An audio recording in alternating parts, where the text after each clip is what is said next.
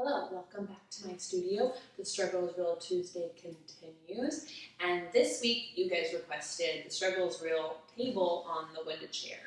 So it really can be real. And I think it's also a, like a funny thing because table on the Wunda chair is such an incredible exercise to use for so many other exercises in Pilates where the struggle could be real, right?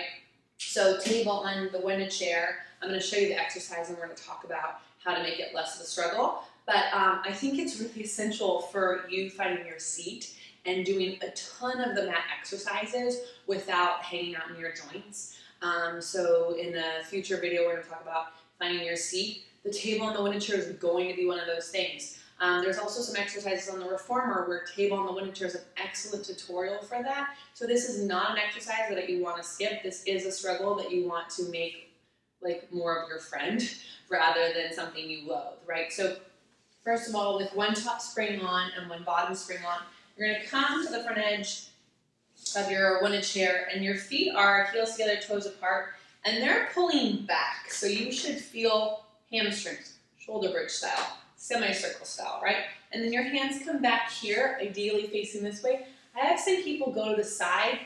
Um, that would be fine if you've got wrist or shoulder stuff, but I, you want to get back here because it's going to help you with your stomach massage. Reach back, your hip circles on the mat. There's long back stretch, arms, everything that like helps you connect your arms to your back. You want to be here. Now, in an ideal world, you would go hips forward and up, and you get them this high.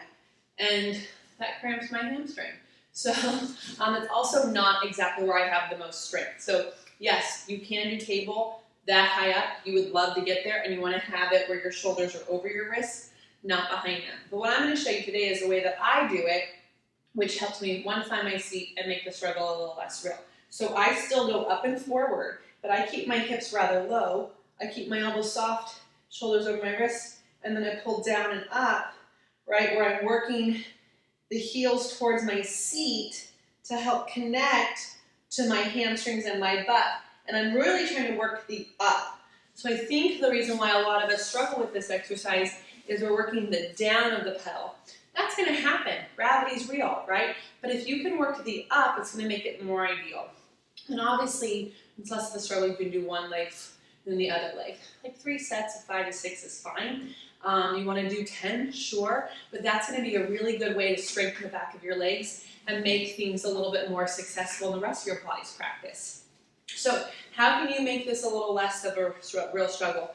I would get on the ground and do shoulder bridge with your feet on the pedal, one spring, lift your hips up and work on pulling the pedal down and up without letting the pedal fall, without your hips falling. That's gonna be really good. We get on your Cadillac, leg springs but really working the hamstrings and the seat. Breathing is to be another great exercise to help you connect to your back and hoist your hips up. I would fall in love with some stomach massage, right? Because that whole reach is going to get you in there with your arms back. So the two can feed into each other. This can help your stomach massage, your stomach massage can help this.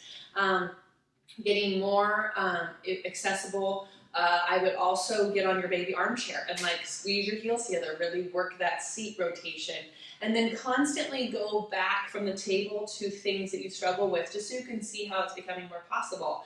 Getting on your mat and doing your leg pulls is really going to show you how much table is helping you, right? Doing semicircle on your reformer. If you, instead of like nitty, nitpicking your semicircle, what if you came and did this and then did your semicircle and see how the two fed into each other? So I'd fall a little bit more in love with table because it's actually going to make everything else you want to do in Pilates just that much better.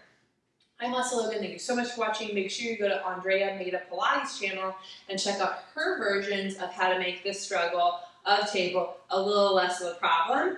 And then subscribe to both of our channels so you never miss one of our videos. Thank you so much for watching and I will see you next time.